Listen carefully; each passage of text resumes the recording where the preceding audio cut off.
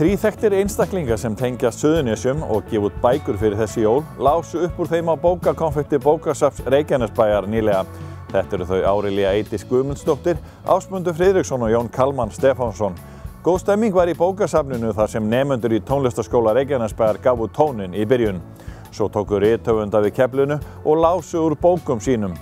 Við ætlum að gera þeim öllum skil í þessum þætti og í næstu þáttum en heyrum fyrst í veljauna rithöfundunum Jóni Kalmanni en hann hefur sankað sér veljaunum á undanförnum árum og fekk nýlega veljaun fyrir að vera með bestu ellendu skáltsöguna sem kom út í Fraklandi á árinu. Þá var tilnefning til íslensku bókmenta veljaunana að detta í húsi á Jóni. Nýjasta afurð hans, eitthvað á starfi við alheimin, er framhald af bókinni Fiskar hafa engar fætur. Bítla og varnælisbærin Keflavík fær stóran sess í bókónum. Jón, eitthvað á starfið alheimin, erum við að tala um Keflavík? Já, sjálfsög. Keflavík er, er ekki sólkerfi, heldur, heldur mista, að minnstakosti vetarbröð. En já, Keflavík spilar stóra rullu þarna eins og í þeirri bókinni, fiskarnir hafa enga fætur og, og þá er, er hérna svona nokkuð, nokkuð drúgur hluti söguna fyrir fram hérna í Keflavík, bæði í dag og, og fyrir á nýjunda áratöknum og svona. Hvað ert að leika þér með í þessari sögu? Sérstaklega ef við spyrjum hérna söðunisjumenn.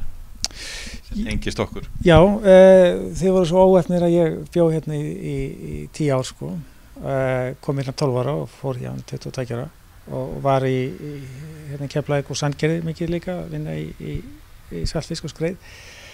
Þannig að, að ég vissi allan tíman að ég myndi einhvern tíma að skrifa um Keflavík og, og bæði það svona sérstaklega andrumsloft sem er hérna uh, út, af, út af hernum og, og líka bara út af stað, staðsendingu þegar það er að segja umhverfinu.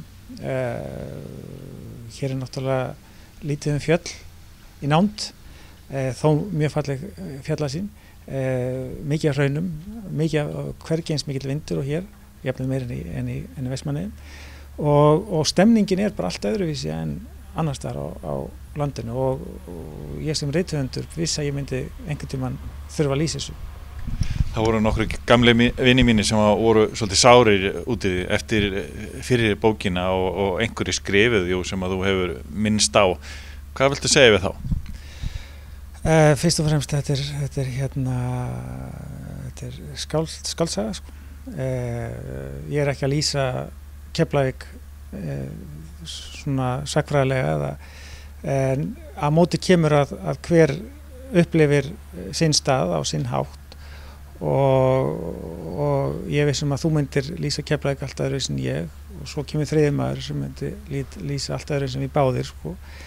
Eh, sko eh, aðalaldrei við skálskap sko, og skálsugum að hún virki og að sagan haldi innan eigin ramma, innan eigin lögmála. Og þarna sé einhvað sem að segir fólkin eitthvað, sem snertir fólkið og vonandi stekkar verildun eðra einhverju leiti. Ef fólkið er sárt út af sko hvernig það talað um bæin og, og, og slíkt, sko það er skiljalegt en, en, en það er óþarfið því að þá er bara fólki að rífast í bók og bókin hún hérna bara geymir sín svör en hún, hún hrópaði ekki sko. Andrea brosi til Ara en hinn konan horfi framfyrir sig og segir líkt og hugsi og Ella dó bara. Andrea. Stóðundi stýri eins og ég sitt hérna. Þetta er nú meira lífið Lára mín. Hún var að keira eftir ringbröndinni og dó þá undir stýri bara sopnaði en bílinn held áfram. Fór yfir að rauðu sveiði síðan skarpt til vinstri kerði við gamall giktveitt kattagrei tók leiði sortunni hjá Ágústi. Þú veist hennar guggu. Þau hafa alltaf verið svo vönduð. En innvúlsið dreifðist um allt, alls konar tímaritt um golf, séð og heilt en líka dopi af klámblöðum. Annarkort frá vesalengjum honum Ágústi eða þá sonum og þetta fauk um allt í vindinum og sumt að því yfir að lóð barnaskólans þú veist að þið búa við hlið skólans. Og Ella dó bara. Já dóa mín, ég var að segja það. Dó undir stýri. Þú manns hvernig hún var blessuninn, gæða blóðin óskup seinheppin. Átti barn með giftu mannu og drullusokki upp á velli og deyr síðan á 50 km hraðindi stífi á hringur, egur yfir á rauðu ljósi, tekur niður pappistunni það fjúka klámblöð, séð og heyrt, gólblöð og allskins pappir yfir lóð barnaskólans og séð og heyrt. Já, það er rétt hjá dúa mín. Séð og heyrt er áræðilega ekkert síður skadlegt fyrir blessu börnin. Ég var þó meira að hugsa um klámblöðin. En aldrei þessu vant var lauröglan á réttum stað, á réttum tíma. Þeir voru að koma niður tjarnagötu og beigðu inn á ringbraut um leið og Ella fór yfir að rauðu án þess að slá nokkuð af. Þannig að þeir settu ljósin á. Og sírunarna líka, bara rétt svo snöppast. En hún synti því náttúrulega. Og, og beintinn og leið, lóð Ágúst og Guggu yfir kattarkveikindið, tók henni pappistunnu, staðlandist að endingu og stór skemmti 20 ára gamalt reynitrið og, og Ella dó bara. Já, en slapp þó við umferðarsættuna. Það er kannski sárabúr. Þeir eru farin að rukka talsveit fyrir að aga yfir á rauðu, en það þýðir vist lítið að rukka þá dánu, sama hvernig þeir hegða sér. Það er eitt af því sem þau dauðu ykkar samiðilt með þeim ríku, nefnilega lög og reglur ná ekki til þeirra. Ég heyrði þið lesa árinni hérna á bókasafninu og eðlilega það vartum við nákvæma lýsingar á, á, á gödum og, og fleiri staðháttum. Þú náttúrulega mannst mjög vel eftir öllu hérna og lefir þið svona inn í, í bæin getur þú sett? Ég er náttúrulega mann eiginlega ekki neitt en, en hérna uh, segir stundum að, að, að ég er mér frekar slemt minni og það kemur mér að góða þegar ég er að skrifa skrifa skálskap sem ég byggja að hluta til sem ég þekki þegar þá, þá get ég hérna bætt svo miklu við. Ég er ekki bundin af staðrendum en eh, ég svona gerir bæði og. Ég, ég, ég nota stundum göduheiti sem eru og, og þessa byggingu hérna bókasafni fyrir, fyrir sparisjóðin og nýti mér það. En eh, ef mér langar til þá bara býð ég til nýja gödu eða, eða, eða nefna hann upp á nýtt. Eh, en auðvitað náttúrulega sko stiðst maður við minningar eða kannski frekar svona andrum, andrum minningarna og svo auðvitað komaður hérna og, og fóri gunguferðir og annað eins til að taka inn nýja, nýja ströyma. Yfirmenni varnarleysins þurft að skrifa all nokkur bref og senda, senda vestur um haf til Ameríku. Svo kemur þá stutt bref. Frú mín, herra, það hryggir okkur að tilkynna lát sonaðins. Hann dó úr leiðendum. Það var ekkert að koma neinum vörnum við. Hann tók dauða sínu vel og var æfilega reyðibúin til þjónustu við bandaríki Norður Ameríkur til hinstu stundar tilvitnum líkur. Ég kom sérst yfir, yfir skjöl bandarska hersins og fann þetta breyta.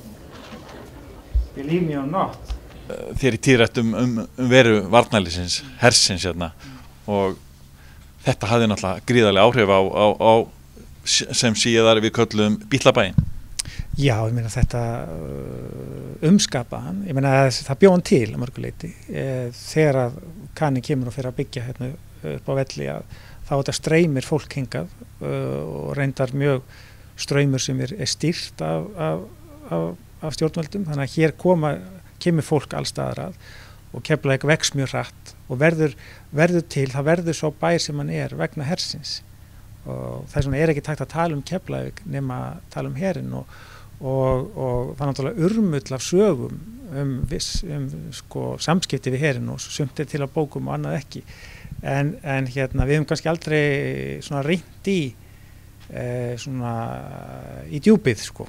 Hvað svona áhrif hersins og annað en, en, en sum áhrif eru þetta mjög greinileg. Og, og þú nefndir sko bílabæin og það náttúrulega eru hljómar og það var ekki tilvílin að þeir komu hérna frá Keflavík. Og það eru dæmi um sko hinn mjög svo jákvæðu áhrif hersins, það er að segja tónlistin sem að kom úr uh, hérna ameríska útvarpinu eða kannútvarpinu Þú varst að fá uh, velun og, og uh, síðan segi vinduðin einar falur, annar keflingingur að það sé verið að spurja þið helling út í Keflavík í útlöndum og það séu jæfnvel lesendu ínir að koma hingað og, og, og vilji sjá þetta umhverfi. Mm. Hvað getur þú satt okkur frá því? Jú, það er, uh, þetta er nú bara eins og þegar ég var að skrifaði hérna þríleikin, vestferðar þríleikin, þá var mikið spurt um um, um þá staðhætti og, og svo núna mikið spurt um Keflavík og, og, og ég reyndar uh, svarið þessu í aðröndina, þetta er náttúrulega skálskapur þannig að, að ég breyti ymsu en ég dreif enga dula það að, að Keflavík er mjög sérstökur staður uh, að vera sérstökur staður er, þarf ekki að vera neikvægt það er eiginlega jákvægt og kannski aldrei eins mikið eftirspurt núna eftir sérstökum stöðum sko þegar heimurinn allir fann að líkjast uh, innbyrðis sko í þessum svona uh, svona nattrænt sko. Að þá er, þá er, þá er að vera, vera hérna, sérstökur eftir, eftir svona verðt sko. Að, en ég segir enda stundum sko í vittilum að keflaðið, staðurinn keflaðið, bæði landslæðið og bærin, uh, svona, þetta er svona fallega ljóturbær. Og svona í hjarta Jóns Kalmans, ekki kannski rítöfandar, hvernig er það svarið sem þú varst að segja núna reyðt á hann? Er, er þannig Keflavík? Jú, ég menna, það nú kannski, við getum kannski ekki sagt að, að, að Keflavík sko, getur státa af glæsilegum arkitektúr eða, eða einhver, einhvað slíkt og, og þetta hefur þetta sko, frekar hörð veðrátt að haft áhrif á, á gróðufarslega og annað eins. En já ég held sveimi þá ég myndi, mér, en sko mér finnst mér finnst þetta sko á bæði svona sérstakann og kannski pínu sérkynnan hátt uh, mjög um, um, hann hefur sko keflaðið og umhverfið hefur mikinn sjarma og mér finnst gaman að koma og mér finnst mjög gaman að standa inn á heiði og, og vera hérna í kring. Það er eitthvað það er eitthvað hér sem er ekki annar staðar og það er dýrmætt